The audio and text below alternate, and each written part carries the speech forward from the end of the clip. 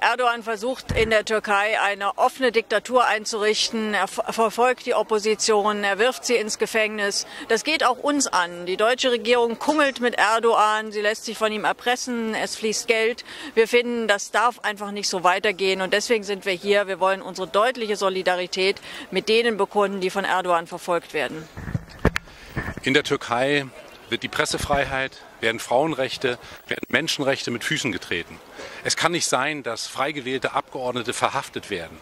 Da sind wir zur Solidarität verpflichtet. Wir machen es ganz deutlich und fordern von der Bundesregierung, dass sie endlich die Verantwortung, die sie hat, annimmt und gegenüber Erdogan klare Kante zeigt und nicht zulässt, dass diese unmenschlichen Aktionen fortgesetzt werden. Deshalb nicht nur Freiheit für die Abgeordneten, endlich der Dialog auch mit den Kurdinnen und Kurden und endlich eine Türkei, die zurückkehrt zur Demokratie.